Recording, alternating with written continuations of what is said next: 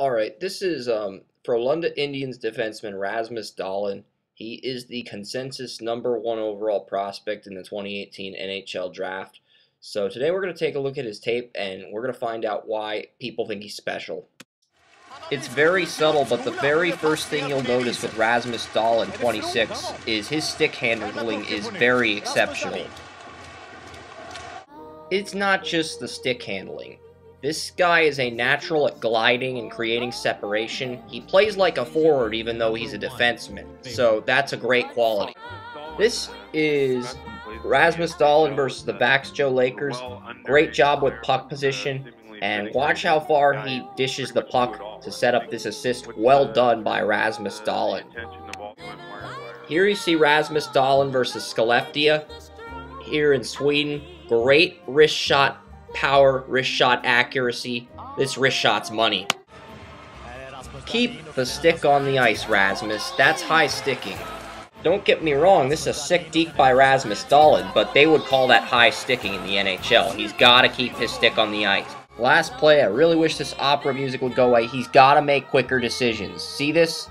He's got a defender in his face, goalie wide open, execute quicker. Alright, here, Rasmus just does a wonderful job passing the puck to himself. Now we're going to get to see him transition to defense after that shot. And watch Rasmus. Glowing. Boom! He just laid him out. So this is a two-way defense. Time to see Dahlin's adversity. Down three goals. Makes one defender miss. Skates through two defenders. Sells the pass. Shoots. Scores. And that was a very excellent play by Dahlin. He's huddling with his teammates, and he's going to go fire up his teammates.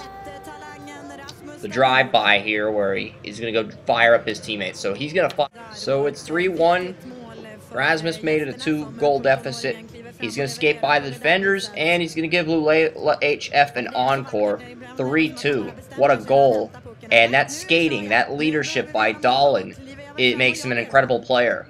Alright, here's a World Juniors clip of Dahlin. Just great job intercepting the puck there, getting it to the teammate, killing the drive. Wonderful, Rasmus.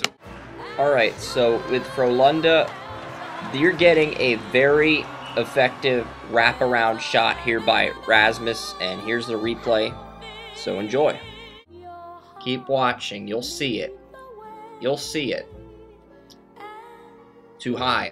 Alright, in this play, Rasmus does a great job making the defenders miss, keeping the stick on the ice, making three, four defenders miss. Alright, this is just great stick handling, excellent slap shot, slap shot power, slap shot accuracy there. And Rasmus Dahlin, he gets his teammates involved, fires him up again, great goal.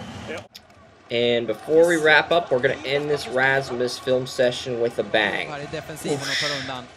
Here are my final thoughts on Rasmus Dahlin, the Frölunda Indians defenseman. He is a pretty complete defenseman overall. Very complete two-way defenseman, can play offense and defense at 6'2", 183 pounds. I thought he was a complete player with no flaws.